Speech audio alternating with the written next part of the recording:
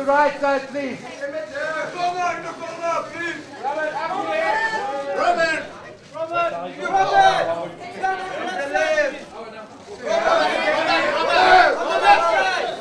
Robert,